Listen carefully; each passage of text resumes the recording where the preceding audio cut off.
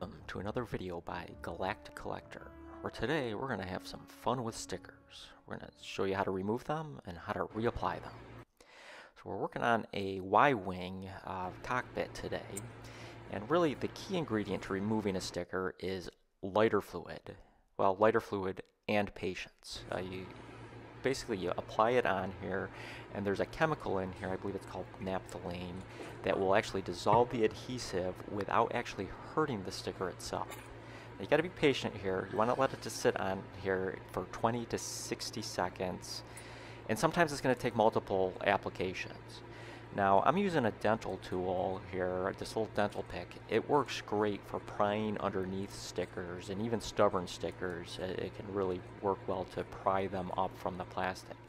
Now my goal here is to reuse the sticker, so I don't want to damage them.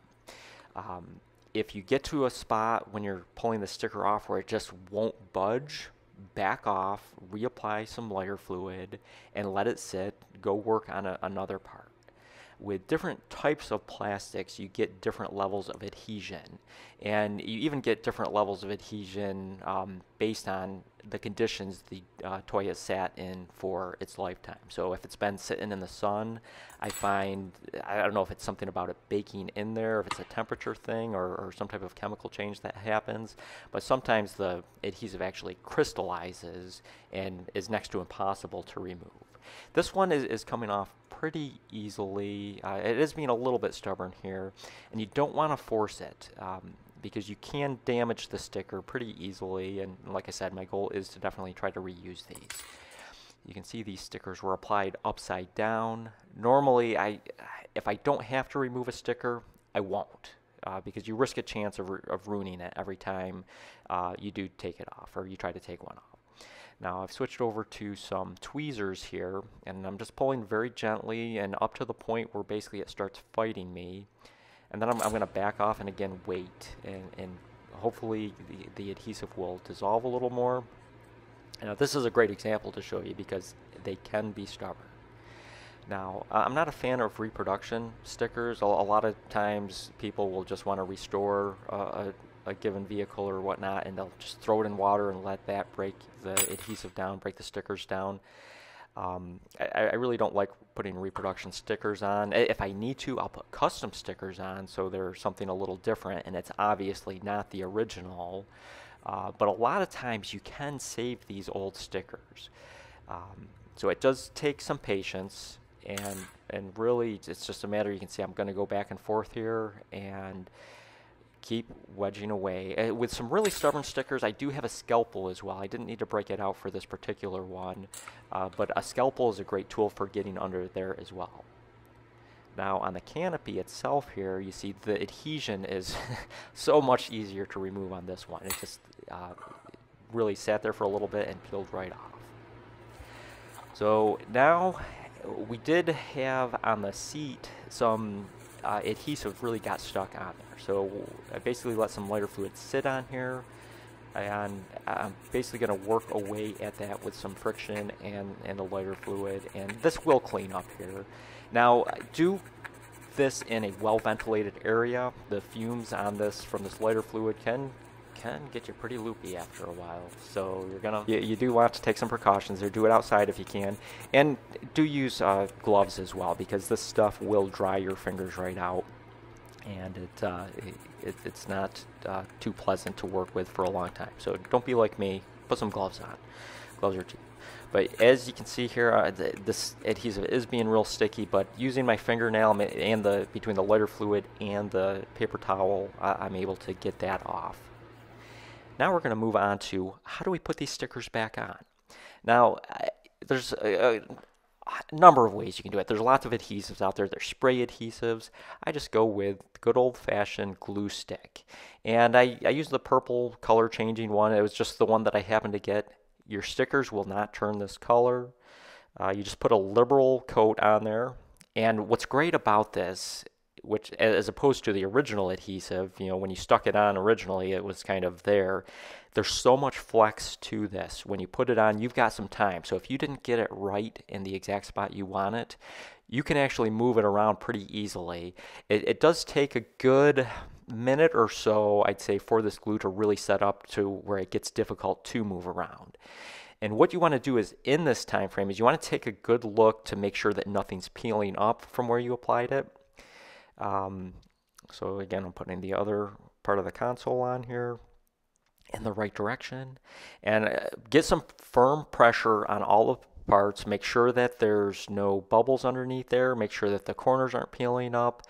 Um, I find that, I don't know if it's a temperature thing, but putting good pressure down with your finger and holding it for a couple of seconds will usually lock in any stubborn things, any stubborn corners, any areas that want to stick up. Uh, in, in some cases, if you have a really stubborn sticker, you may want to place it in a book for a couple of weeks with some weights on it to try to get any bubbles out of it or wrinkles out of it.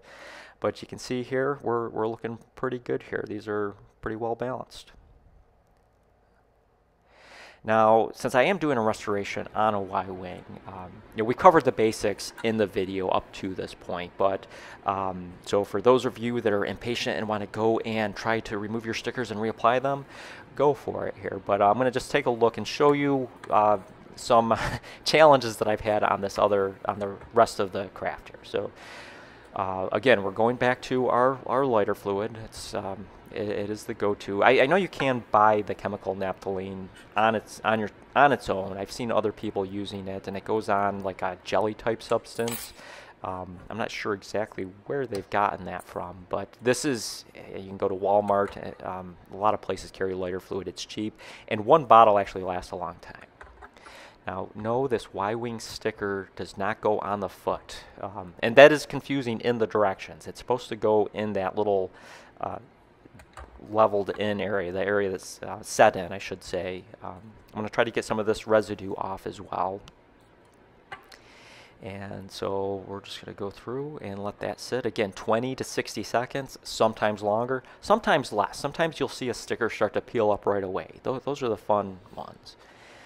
So again, we're going to work at it. The dental pick, again, I, it's one of my favorite tools for in restorations. You can really get in. Um, you do have to be careful with it because it is easy to puncture paper. You can scratch plastic, but the more you do this, the more you get a, a, a good handle on it, and you can. Um, it, it's not it's not going to do too much damage, and, and as you get practice with it, it actually gets better and easier to use.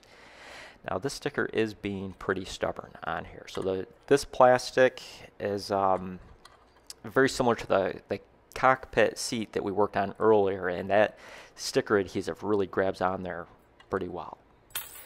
Now, what I probably should have done is I, I did have this Y-wing apart, and I should have removed this front foot so I wasn't working on it within the vehicle itself. Uh, that would give me a little better leverage in here, but um, I'm just going to work with it as it is here.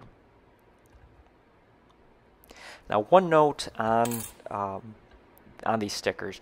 When you're working with them, keep an eye on the uh, the colored parts of the sticker because one thing that can happen with age with sun exposure is it the actually the printed side can flake right off and it, it breaks almost like glass so if you start pulling on a sticker and you see that start to happen my recommendation is just to stop um, because it the, you'll you'll ruin the sticker at that point.